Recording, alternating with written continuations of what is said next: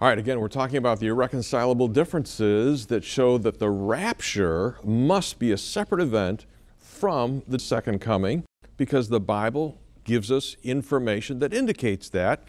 The fourth one is the Bible indicates there's a difference of when Jesus comes in relationship to the tribulation. At the rapture, Jesus comes to rescue Christians before the hour of trial, the tribulation, and the wrath to come. What's the verse, Mark? Well, there's several uh, verses. Revelation 3:10 is a great one. It says, "Because thou hast kept the word of my patience, I will also keep thee from the hour of temptation, which shall come upon the whole world to, to try them that dwell uh, upon the earth." Uh, what that passage is telling us is Jesus is going to come and he says, I'm going to keep, I'm going to keep you from the hour of testing or the hour of temptation that's coming upon the whole earth. Well, the only time period that can be referring to in the book of Revelation in the context is the, the time of the tribulation. And he doesn't just say, I'm going to keep you from the testing. He says, I'm going to keep you from the very time The of whole the hour, test the itself. whole, the whole thing. Yeah, from the whole hour.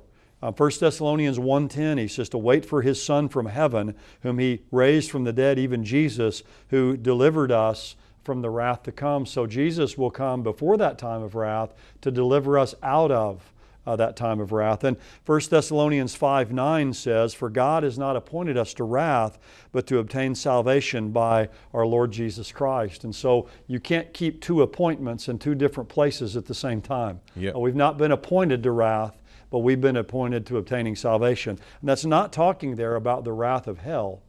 The whole context of, of uh, 1 Thessalonians 5 up to that point is talking about the wrath of the tribulation or the day of the Lord. And so he says, I'm going to keep you from that wrath and you're going to receive salvation. We're going to be delivered from the coming wrath. Right. But Ron, at the second coming, the exact opposite. Jesus comes after the tribulation to inflict final judgment, punishment, and conquer his enemies and to rule the world from Jerusalem. What's the verse?